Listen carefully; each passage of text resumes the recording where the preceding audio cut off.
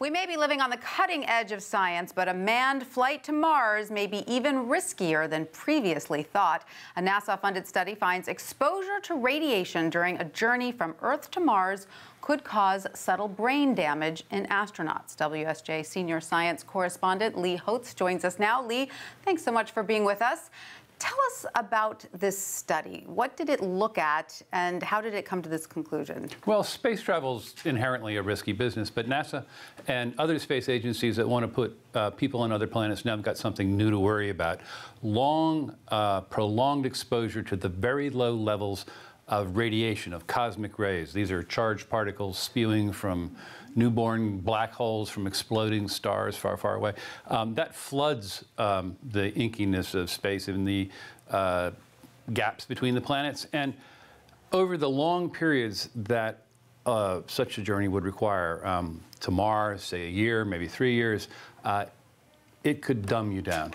And the distance between Earth and Mars is what, about 140 million? Uh, at close approach, yes. It can get as far away as 300 million miles. Um, but uh, that means a journey, say, of a year or more.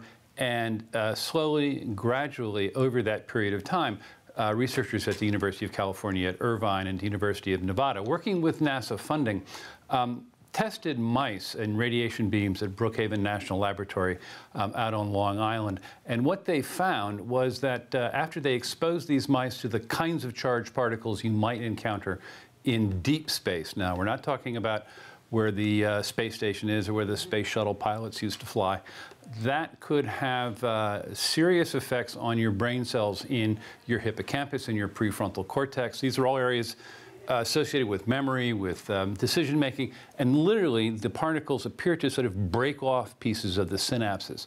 And it has the consequences on behavior. You get slow, you get easily confused, you have trouble remembering. I mean, we send some of our smartest people into the astronaut corps and into right. space, and this is going to shave points, they say, perhaps off their IQs this could be dangerous in a spaceflight emergency. So this is this is the result shown in the mice. They lost uh, in laboratory animals. Laboratory in mice. animals. And this is uh, but the first time they've ever seen this. Now mm -hmm. NASA's been studying sort of the health hazards of radiation for decades, but they've tended to focus on things like what's the elevated risk of cancer. So how much radiation has the typical astronaut been exposed to then in the past? Well, this kind of radiation I don't think in the 54 years of human spaceflight, any astronaut has ever gotten a full dose. I mean, the, the sheer bulk of the planet Earth, its atmosphere, its magnetic field, these all protect us and people in uh, near Earth orbit from these kinds of deep space cosmic rays.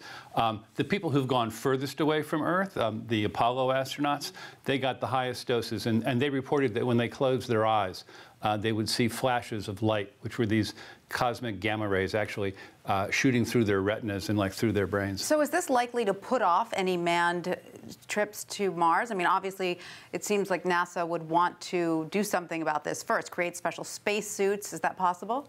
Well, shielding can certainly make a difference. And first of all, I think it's important to say at the outset, this is a new risk, not the only one, maybe not the most severe, but they've never had to think about it before. Uh, aluminum, which is the typical space flight shielding, does provide some protection. It may be that uh, they start building these kinds of spacecraft out of plastic, which actually gives very good protection against these kinds of particles. But then you could never leave the spacecraft, correct? That would be the problem. All right, Lee, thank you so much. I hope it doesn't take too long. It would be very exciting to send men to Mars. I'd go. All right, good. We have a volunteer right here.